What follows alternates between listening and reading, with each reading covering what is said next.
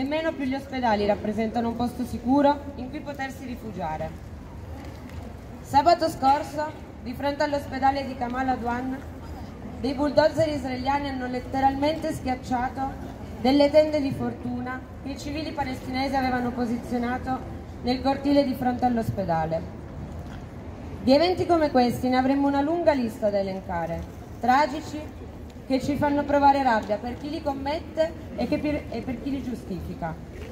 Solo dal 7 ottobre 135 ospedali sono stati bombardati e tantissime persone ne sono rimaste uccise.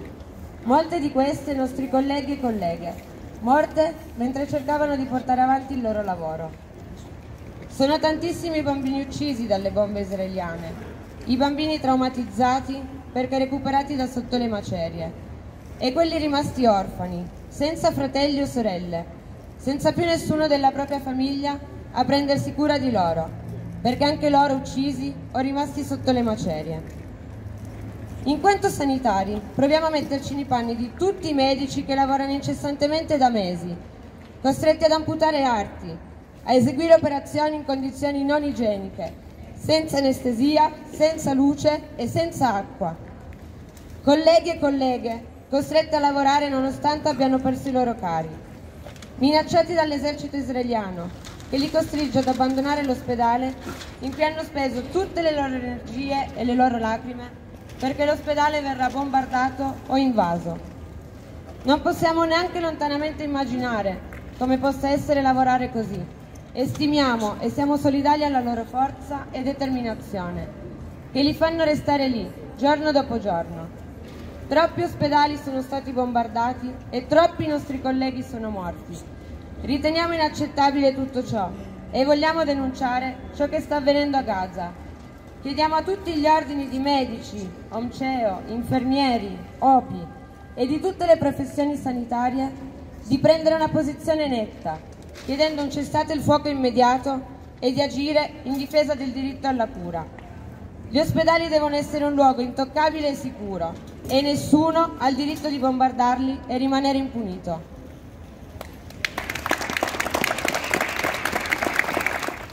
Chiunque tra i lavoratori della sanità abbia visto in questi mesi le immagini che ogni giorno ci arrivano da Gaza non può, non, non può non essere rimasto scosso.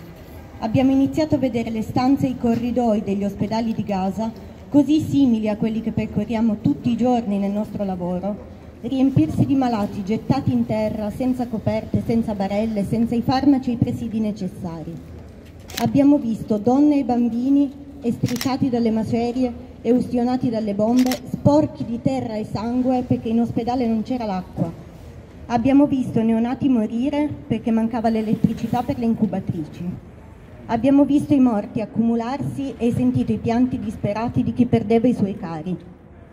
Abbiamo visto l'impotenza negli occhi dei colleghi in Palestina e visto con quanta tenacia stavano lottando. Chiunque lavori nella sanità in quell'immagine ha provato a vedere se stesso, i suoi pazienti, le sue stanze, i suoi corridoi, il suo ospedale e immaginandolo ha provato sgomento, disperazione e rabbia. Poi abbiamo visto i bombardamenti e saputo che in quegli ospedali quei pazienti e quei colleghi non ci sono più. Non possiamo quindi tacere di fronte agli orrori che avvengono a Gaza sotto gli occhi di tutti e non possiamo e non vogliamo rimanere indifferenti di fronte al genocidio del popolo palestinese. Chiediamo ai nostri e alle nostre colleghe di prendere una posizione in solidarietà ai sanitari di Gaza che ancora oggi stanno lottando con le unghie e con i denti per i loro pazienti e chiediamo che gli ordini professionali nella nostra categoria lavorino e facciano pressione sulle istituzioni perché venga chiesto un cessate il fuoco immediato. Nato nel 1986, il dottor Allò ha dedicato la sua vita allo studio della medicina, sin dalla laurea con lode in medicina e chirurgia presso l'Università Sana'a in Yemen. Si è poi trasferito in Giordania, dove è stato internista in medicina interna, concludendo il suo percorso con il massimo dei voti e proseguendo formando i giovani medici specializzandi in medicina interna. Si è poi specializzato in nefrologia, consapevole di quanto questa competenza fosse necessaria nella striscia di Gaza. Il suo obiettivo è infatti sempre stato quello di tornare a casa e applicare le sue conoscenze ed esperienze dove erano maggiormente necessarie. E così ha fatto, dopo 14 anni passati all'estero per approfondire i suoi studi. Lo scorso novembre un attacco aereo israeliano ha colpito la famiglia di sua moglie, la cui casa era adiacente all'ospedale a Shifa, uccidendo lui e suo padre.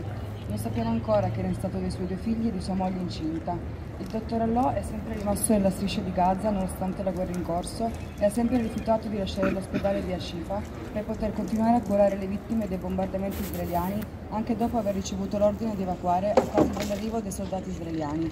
Ha dichiarato, se me ne vado chi curerà i miei pazienti? Non siamo animali, abbiamo diritto di ricevere delle cure mediche adeguate. Pensate abbia studiato medicina per 14 anni solo per pensare alla mia vita e non a quella dei miei pazienti? Il dottor Youssef Al-Mahdi, insieme ai suoi fratelli Basel e Raed, stava lavorando presso la loro clinica ostetrica in Gaza City, fornendo instaccabilmente cure alle vittime dei continui attacchi israeliani, specialmente neomamme e neonati. Un missile israeliano ha colpito la clinica Al-Mahdi, uccidendo Basel e Raed.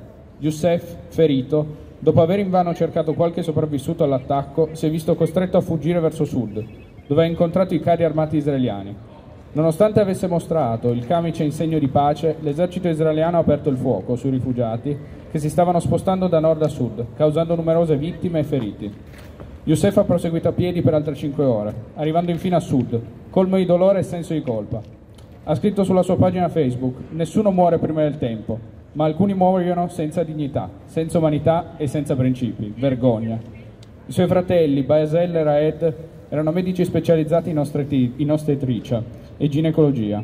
Anche se operavano in una clinica privata, hanno sempre tenuto in considerazione le, le condizioni economiche delle donne che si rivolgevano a loro. Il dottor Nasr Al-Madoun è uno studente al quarto anno di medicina e un membro dello staff medico dell'ospedale Kamal Adwan.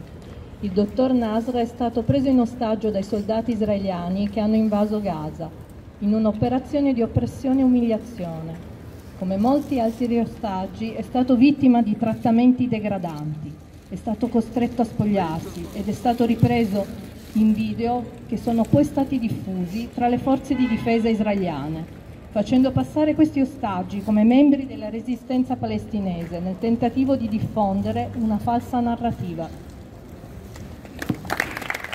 Io vi leggo una poesia del poeta palestinese Mahmoud Darwish. Mentre prepari la tua colazione, pensa agli altri, non dimenticare il cibo delle colombe. Mentre fai le tue guerre, pensa agli altri, non dimenticare coloro che chiedono la pace. Mentre paghi la bolletta dell'acqua, pensa agli altri, coloro che mungono le nuvole. Mentre stai per tornare a casa, a casa tua, pensa agli altri, non dimenticare i popoli delle tende. Mentre dormi, contando i pianeti, pensa agli altri, coloro che non trovano un posto dove dormire. Mentre liberi te stesso con le metafore, pensa agli altri, coloro che hanno perso il diritto di esprimersi. Mentre pensi agli altri, quelli lontani, pensa a te stesso e di, magari fosse una candela in mezzo al buio.